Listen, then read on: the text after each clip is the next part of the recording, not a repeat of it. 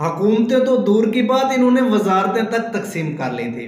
मगर 8 फरवरी को अवाम ने इनके उस टेबल को जिस पर इन्होंने अपने बुफे लगाए हुए थे, उसको उलट पुलट कर रख दिया, जिसके जद में किसी की पग आ गई तो किसी की मूछें आ गई और किस या फिर किसी की धोती उसमें आ गई उसके जद में।